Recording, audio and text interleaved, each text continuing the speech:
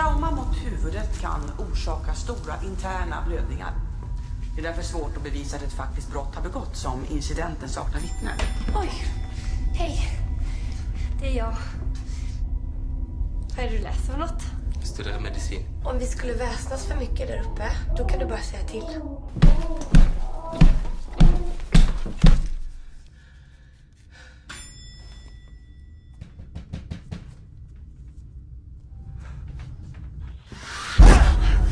Förlåt. Jag har inte meningen att skrämma dig.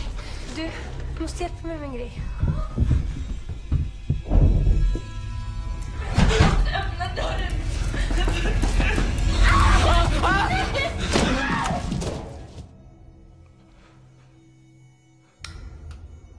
Hej, nu har du ringt till Lotte. Jag kan inte svara just nu. Har du för egentligen? Tror inte jag fattar att du knullar Lotte. Nästa jag ser dig kommer jag fan att slå in skallen på dig din jävla fitta. Det är ingenting du behöver oroa dig för. Det är bara något slags missförstånd.